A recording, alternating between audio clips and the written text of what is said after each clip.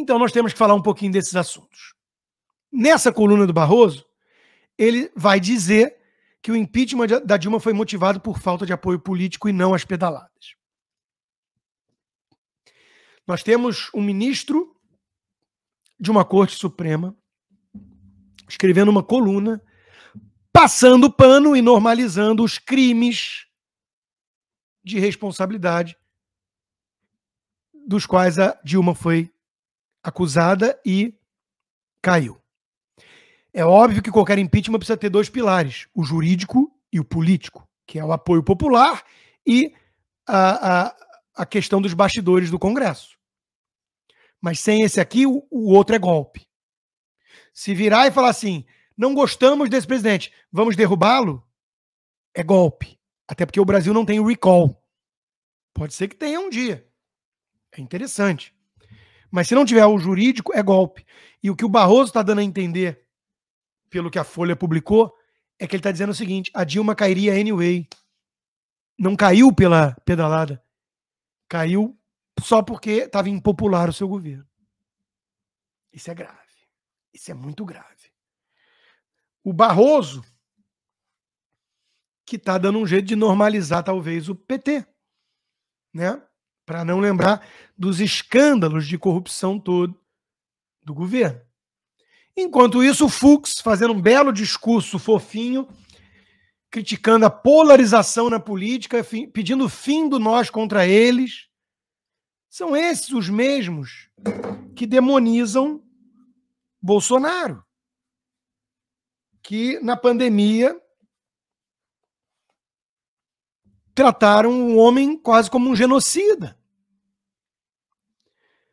E que estão dando um jeito de aliviar a barra do Lula que foi o político no Brasil que mais investiu em toda a história do país na, na, na questão do nós contra eles. Então, o quão hipócrita é isso? Além do mais, Fux, no final, deu uma alfinetada em Bolsonaro ao falar da importância do Estado de Direito, da democracia e que não vão tolerar ameaças e tudo mais. Ele não estava falando do Lula. E ele não estava falando certamente do próprio Supremo que ele preside e que tem atropelado a Constituição, jogado fora das quatro linhas, ao contrário do presidente.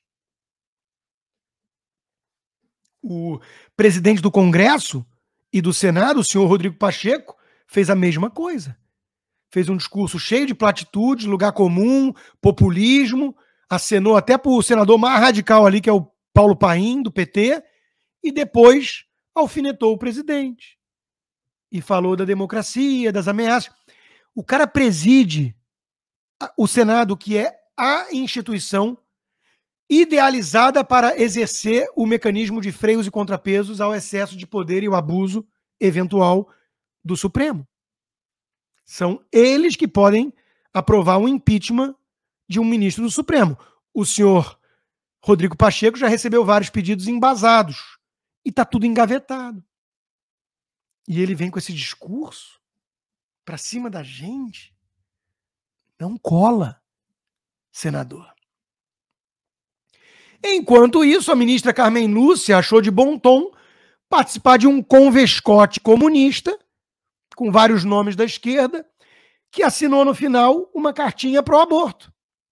Ah, mas a mídia elogiou muito porque ela saiu antes do desfecho sem falar que ela, no fundo, disse que o termo aborto não devia ser usado, porque gera polêmica. Ou seja, ela quer a ideia, ela quer avançar com a possibilidade de matar seres humanos em gestação no útero.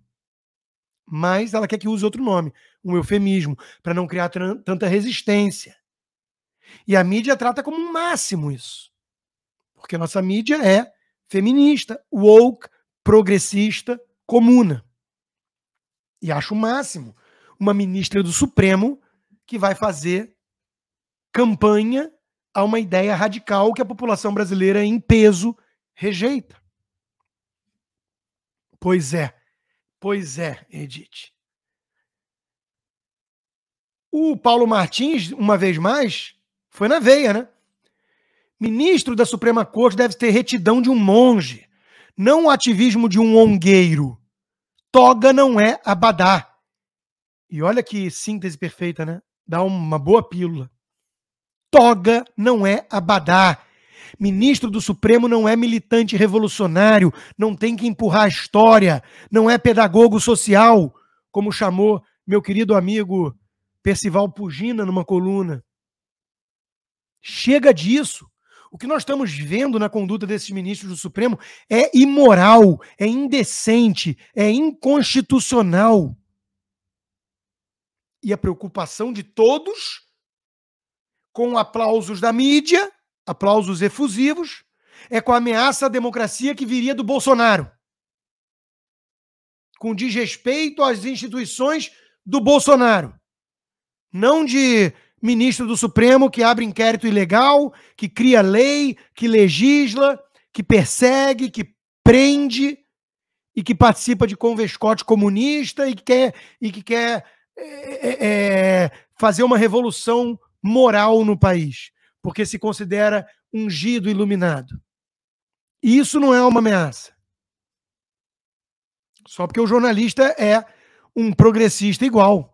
São todos da mesma bolha. Repito, uma bolha promíscua. E se for catar, segundo alguns boatos, encontra-se promiscuidade pesada até suprema. É a suprema promiscuidade. A suprema promiscuidade. Mas, como eu disse, o editorial do Estadão está alertando para a ameaça do Bolsonaro e falando que o judiciário rechaçou ameaças.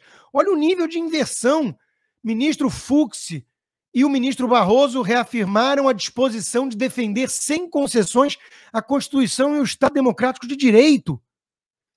Diz o, o, o Estadão, é o contrário. Esse Supremo tem rasgado a Constituição e atropelado o Estado de Direito. É o contrário.